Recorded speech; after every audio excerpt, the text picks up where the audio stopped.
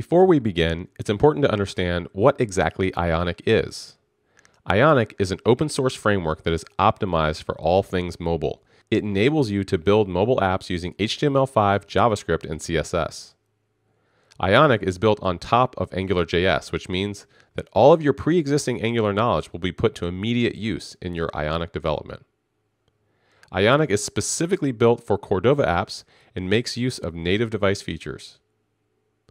Conceptually, you can almost think of Ionic as Bootstrap for mobile. Like Bootstrap, Ionic provides a framework, out of the box JavaScript components, and CSS. It provides developers that solid foundation upon which to build their apps, and it can easily be customized to meet your specific needs. Here's a quick look at the Ionic website at ionicframework.com.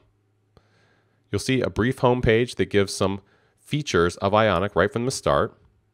You'll also see this getting started link, which I highly recommend that you work through. Of course, we'll be working through almost the exact same thing in the course, so you can get up and running with Ionic in seconds. The docs section here is excellent, and you're going to see uh, different sections here for CSS and JavaScript components. The documentation, unlike some other open source projects, is outstanding, and you're going to put it to use immediately. The showcase section of the site shows existing apps that are already in the App Store that are built with the Ionic framework. And you just can get a quick look at the various options you have for building apps using the Ionic framework.